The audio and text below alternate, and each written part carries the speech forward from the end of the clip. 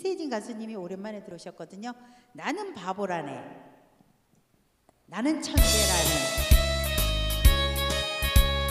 감사합니다. 김찬호 가수님. 자, 우리 이세진 가수님은 월요일, 목요일 오후 2시 실방하고 계십니다. 나는 바보라네. 정말 바보라네. 당신이 미워 떠나왔지만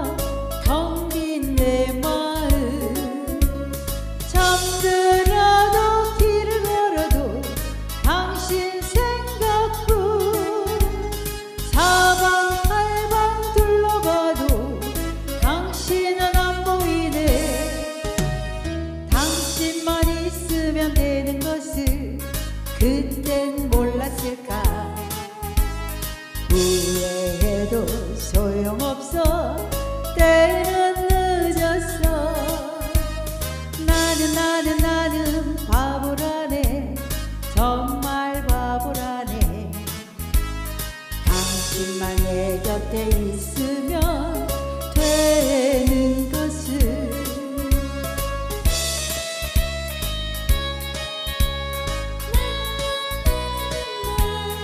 알아볼수록 보고 싶은 분이랍니다. 바보가. 김소민님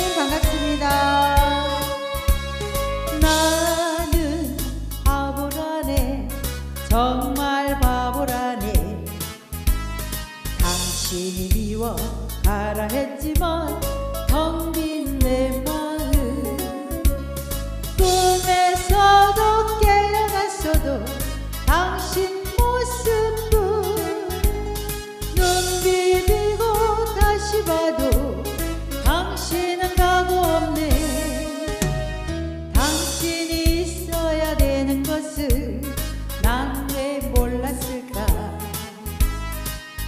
이제 와서 빌어봐도 때는 늦었어. 나는 나는 나는 바보라네.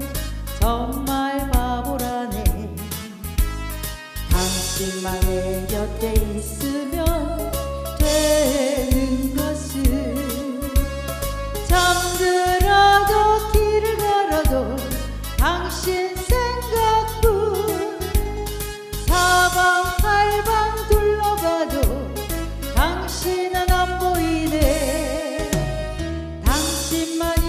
있으면 되는 것을 그땐 몰랐을까?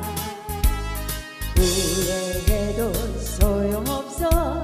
때는 늦었어. 나는 나는 나는 바보라네. 정말 바보라네. 당신만 내